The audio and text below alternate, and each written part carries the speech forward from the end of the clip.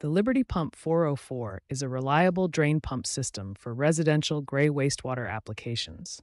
However, like any mechanical system, it can experience common issues that affect its performance.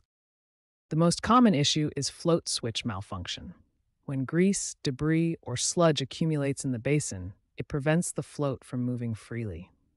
This causes the pump to either run continuously or fail to activate when needed. The solution is straightforward turn off power, remove the pump, and thoroughly clean both the basin and float switch. Test the float movement manually. If it's still sticky or damaged, replacement is necessary. Check valve failure is another frequent problem. When the check valve becomes stuck, leaks, or is damaged, water flows back into the pump after it shuts off. This causes the pump to cycle frequently and reduces efficiency.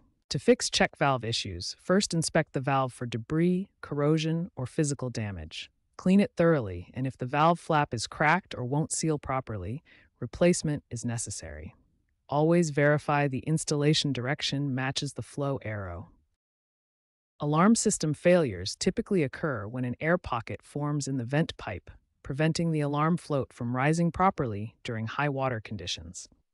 This leaves you without warning when water levels become dangerously high. The solution is to drill a small vent hole, about 1 8 inch diameter, in the vent pipe above the maximum water level.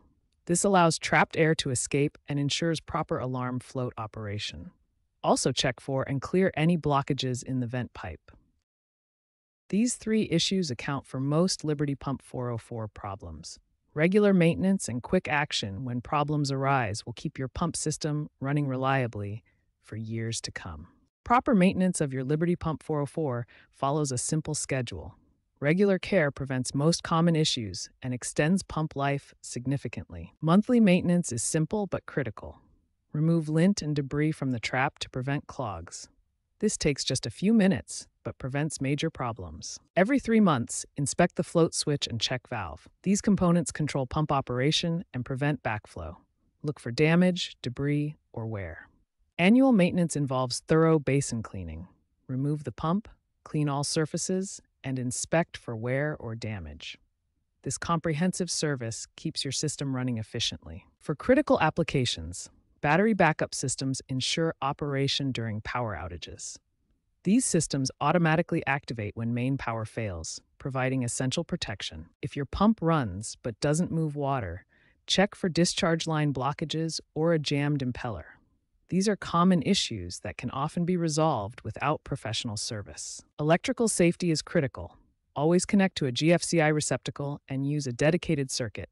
Never use extension cords, as they can cause voltage drops and safety hazards. For complex problems or warranty concerns, consult qualified repair facilities.